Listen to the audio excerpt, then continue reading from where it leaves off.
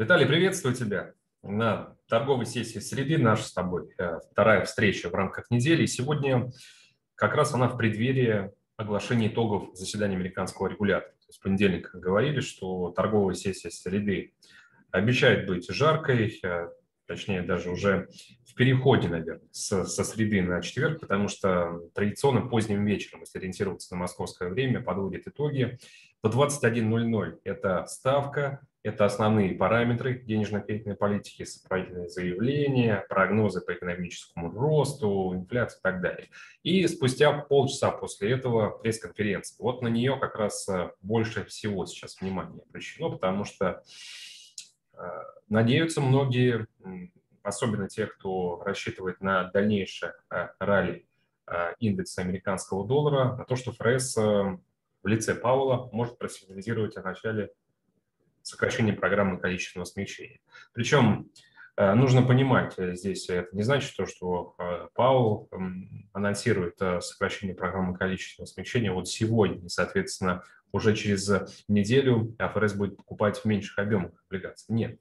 Я думаю, что большинство участников рынка даже рассматривают даже в большем порядке сценарий, при котором сегодня Паул сообщит о том, что изменения в политике могут произойти к концу этого года, вот, например, в ноябре и э, декабре, где э, программа и когда программа QE может быть уже свернута там на 10, на 20 миллиардов э, или на какой-то другой порядок цифр. Ну, сегодня опять же все узнаем.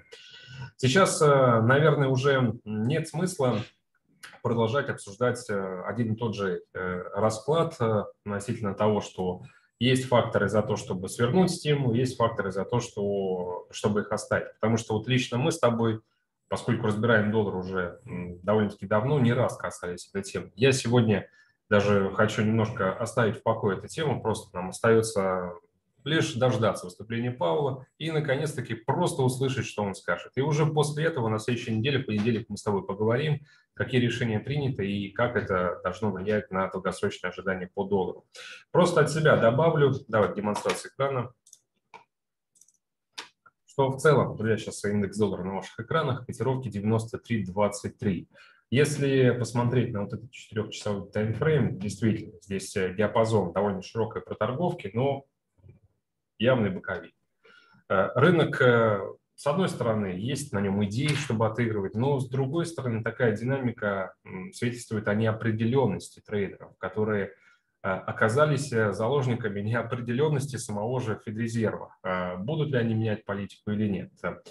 Я склонен полагать, что все-таки время еще не пришло для сворачивания стимулов, поэтому долгое время продавал и, наверное, долгое время буду еще продавать индекс доллара, ожидая, что он окажется ниже. Это такая долгосрочная сделка, и также очень много раз уже комментировал. Те, кто следит за моим контентом, знают мое отношение к баксу. В то же время, если разменится на какие-то краткосрочные сделки, в частности, в прошлый раз я давал комментарий и комментировал э, ситуацию на рынке нефти, рекомендовал а, продавать там с уровня 74,50. Мы в моменте очень хорошо вниз ушли, там локальный минимум был а, на отметке 73.25. Сейчас, в принципе, находимся на тех же уровнях, на которых открывали сделку, и я, признаться, вышел из нее по безубытку, потому что а, рассчитывал, что падение будет в в моменте более значительным. И сейчас перед заседанием ФРС я понимаю, что волатильность может быть большой. И для рынка нефти э, эта волатильность э, легко может составить несколько процентов э, вверх и вниз, просто потому что рынок так отреагирует на новости. Ну, чтобы вот не зацепить уже стоп-лосс, пока что, раз мы не смогли заработать, уйдя к заветной цели, к сегодняшней торговой сессии, нефть лучше оставить в покое. Но тем, кому интересно, что в целом с рынком может быть дальше, я склонен полагать, что снижение будет все-таки в приоритете, потому что ориентируясь на последствия ураганов, а, ну, в основном Иды, потому что именно это стихийное бедствие стало причиной значительного сокращения объемов нефтедобычи. Сейчас, по последним данным экологического контроля в США, меньше уже 20% а, простое производство, то есть э, нефтянка э, по объемам добычи, загрузки производственных мощностей восстанавливается и возвращается к прежним уровням.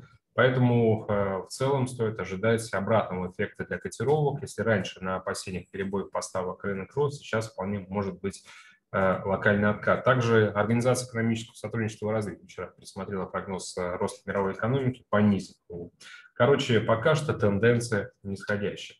Также рассматривал британскую валюту, исходя из политических рисков, то, что действительно сейчас очень многих особенно граждан Англии, волнует э, вопрос, связанных с э, новым дополнительным налоговым бременем. Э, это ранее стало причиной серьезного обвала фунта. Сейчас фунт также ушел в локальный дрейф, хотя я сохраняю цель прежней в районе отметки 1.36, 1.35, я Э, сегодня, опять же, призываю вас, друзья, если вы только будете открывать сделки, делать это крайне осторожно, потому что сегодня всплеск волатильности точно будет. Э, и рынок, прежде чем определиться с дальнейшим движением, может э, показать приличный ход наверх и вниз. Тенденция здесь нисходящая. По европейской валюте я так же, как и ранее, рекомендую ждать просадки до боя там, пары евро-доллара до отметки 1.1650 и оттуда уже покупать через отложку, которую я ранее озвучивал. Сегодня я могу в качестве подтверждения как бы еще одного аргумента за то, что евро просядет, э, сделать акцент на индекс рыночных настроений. Э, иногда, когда есть значительный перекос сил продавцов и покупателей, я касаюсь этой темы. И э, сейчас мы видим то, что 70% трейдеров, я эм, говорю про Э,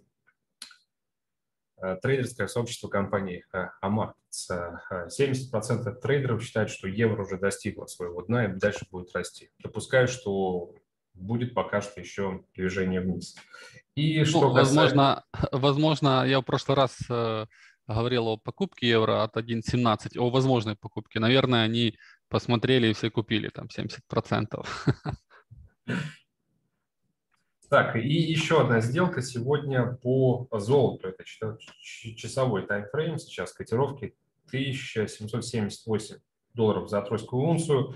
Э, здесь, опять же, в расчете на то, что до заседания ФРС мы можем сходить вниз, в частности, к поддержке 1770. И оттуда я уже предлагаю купить стоп-лоссом на уровне 1760 и э, тейком take профита в районе 1800 долларов за тройскую унцию. Короче, сегодня торгуем волатильностью, ждем мощные движения и ждем, я надеюсь, что в этот раз будет больше конкретики от ФРС, потому что в неопределенности уже многие устали находиться. Виталий, слово тебе.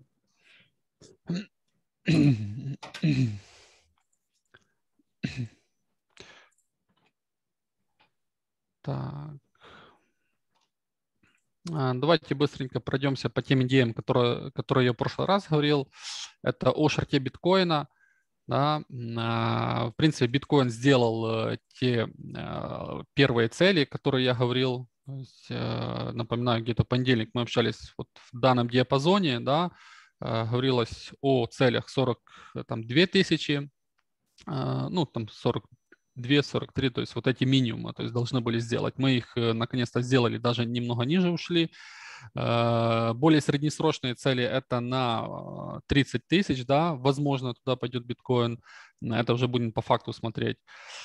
Говорил, что туда медленно будем падать, как вариант через какие-то коррекции и так далее. Конечно, цены в понедельник, о которых я говорил на шорт, были не очень хорошие.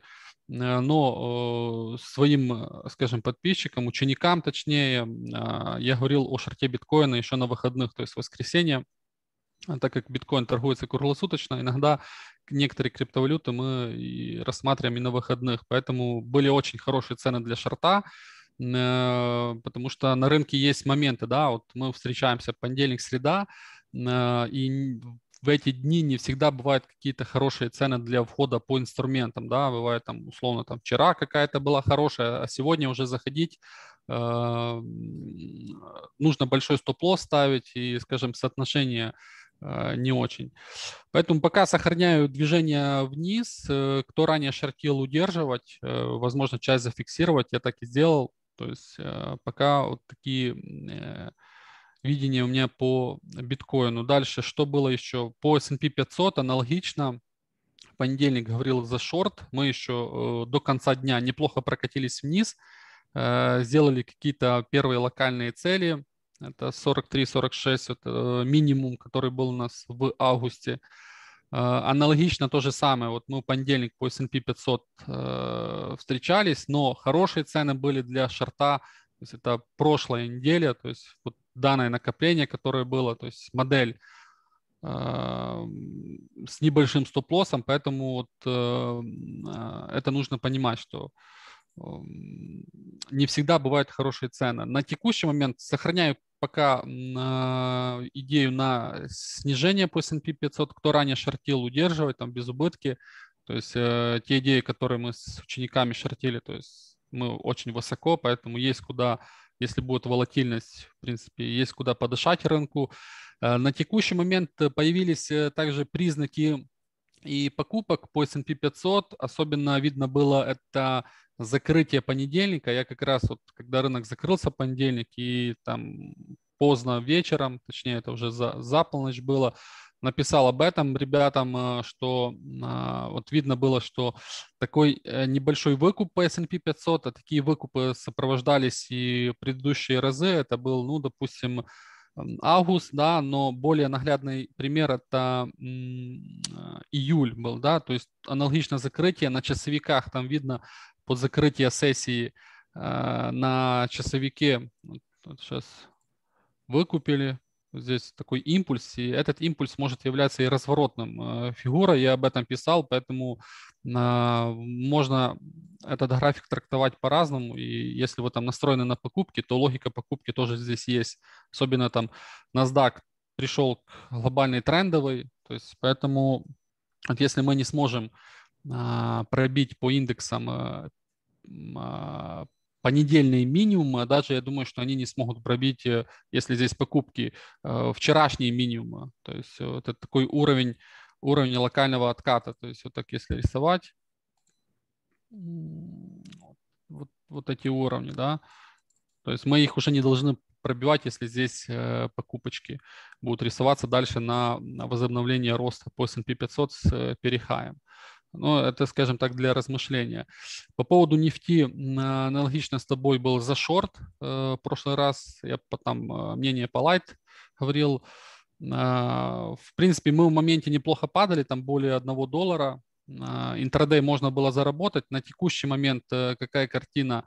Если мы ну, сейчас, там позже чуть-чуть спустимся ниже, это по лайт, ниже вчерашнего минимума, это 71-30 условно, то возможно рассматривать какие-то э, будут шарты, то есть выставить sell-stop или там уже по факту смотреть, э, желательно получить какой-то локальный импульс и после этого э, рассматривать шорт с дальнейшим падением на вчерашний минимум и, возможно, ниже.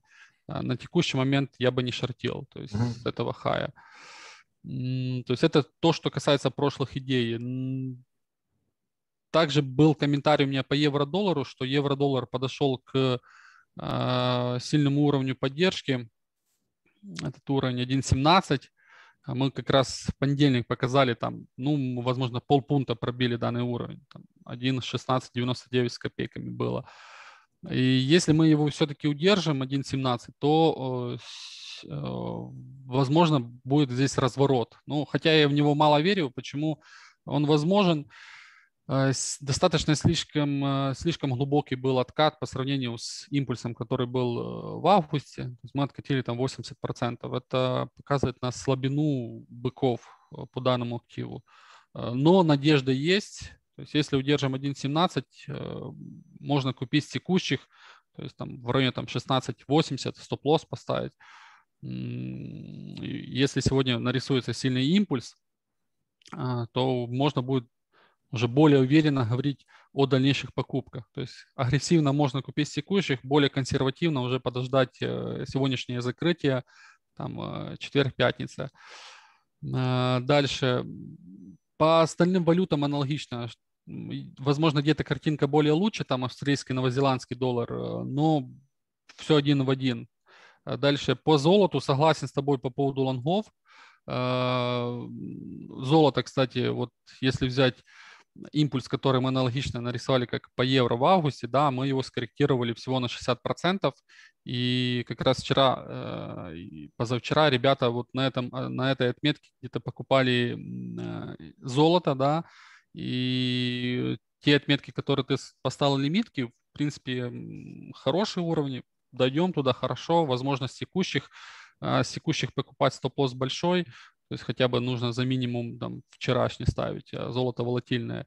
И если вот эта теория, что правильно, что это все идет откат, то мы увидим э, хороший рост на обновление максимума, которые у нас были в начале месяца и, возможно, выше. То есть это у нас 1830, 1800, возможно, 1900 сделаем по золоту.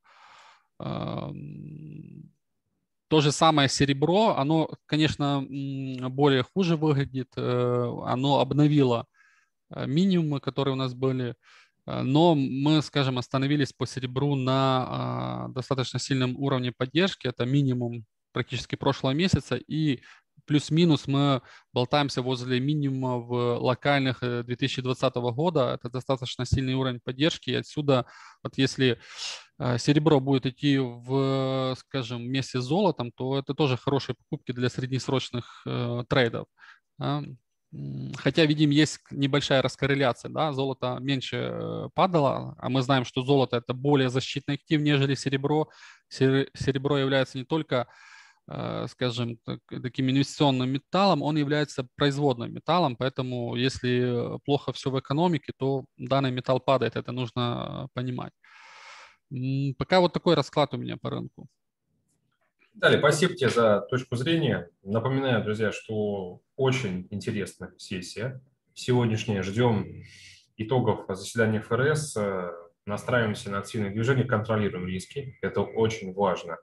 Ну а мы с Виталием традиционно вернемся к обсуждению рыночной ситуации, поговорим уже о том, что сегодня и под закрытие недели произойдет с площадками. Найдем для вас новые точки входа, прокомментируем все и подскажем, как действовать. Виталий, тебе спасибо, хорошего закрытия недели, хорошего трейда сегодня и хороших выходных. Пока. Пока, удачи.